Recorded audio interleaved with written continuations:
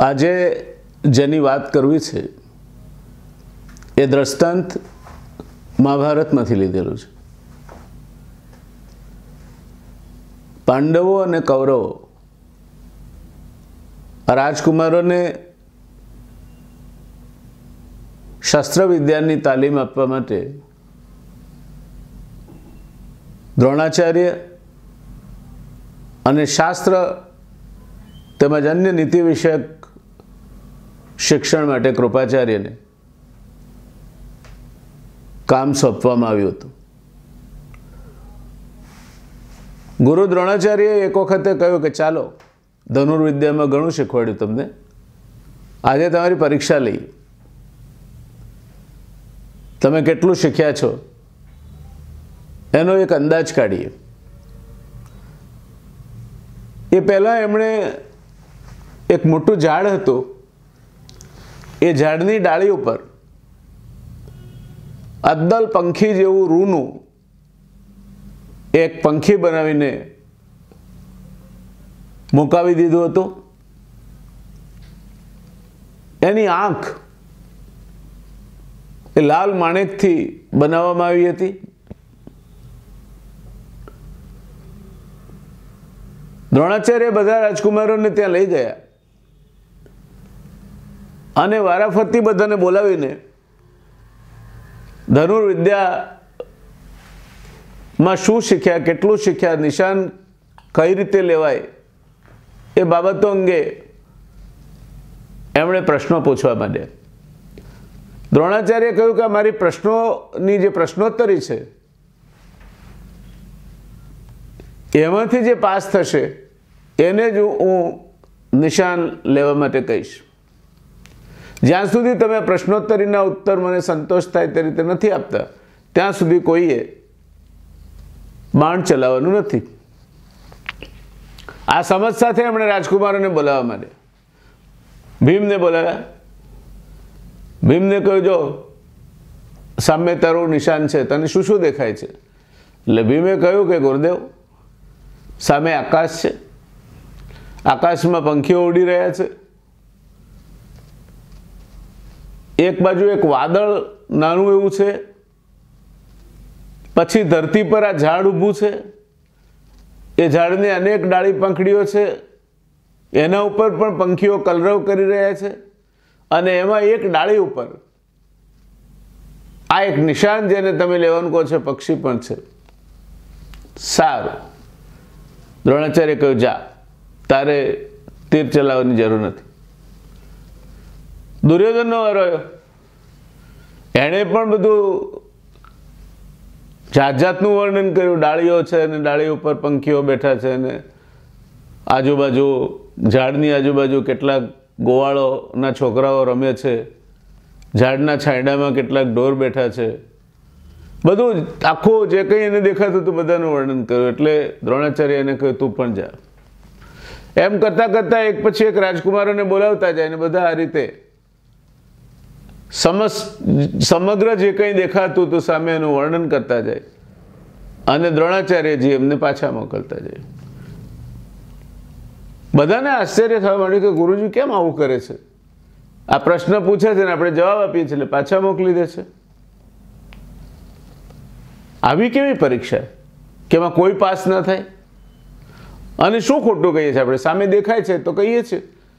ઢોર બેઠા છે તો ઢોર છે. ગોવાળિયાના છોકરા રમે છે, તેની વાત છે. આકાશમાં પંખીઓ ઉડે કશું ખોટું નથી અમે જે કંઈ કહ્યું તે બધું જ સાચું કહીએ છીએ આપણે. અને છતાં, ગુરુજી, એક પછી એક એક પછી એક એક પછી એક આપણને વિદાય કરે છે. છેલ્લે અર્જુનનો વારો આવ્યો.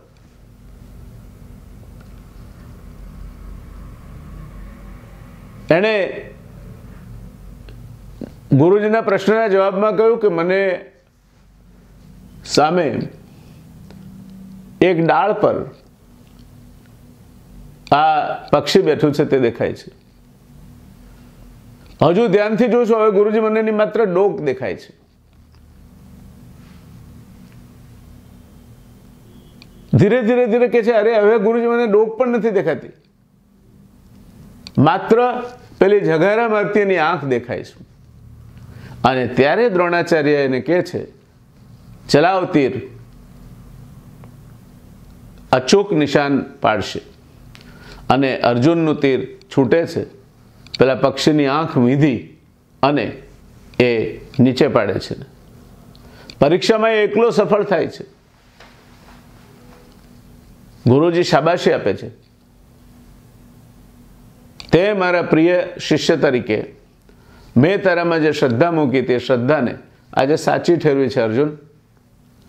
તને ધનુર્વિદ્યામાં પહોંચે એવો બીજો કોઈ બાણાવળી પેદા નહીં થાય.